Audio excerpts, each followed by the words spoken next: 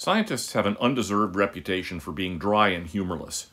To disabuse yourself of this notion, all you have to do is look at the topic of scientific names. Now, some of them are kind of bland. For example, the black-footed ferret's scientific name is Mustela nigripes, which is Greek for black-footed ferret.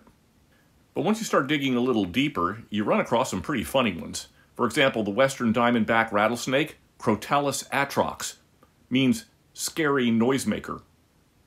The order that contains shrews and moles, Eulipotyphla, means really fat and blind.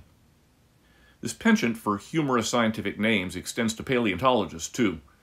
For example, there is a carboniferous amphibian whose name is Eucritta melanolimnetes, the real creature from the Black Lagoon.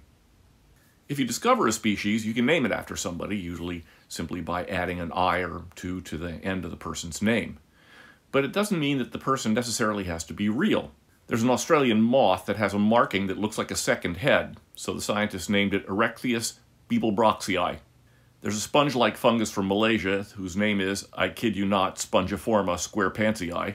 But my favorite one is a fish that's found in the fjords of New Zealand. Its name is Fiordichthys slartibartfastii. And if you get the joke, you are a nerd.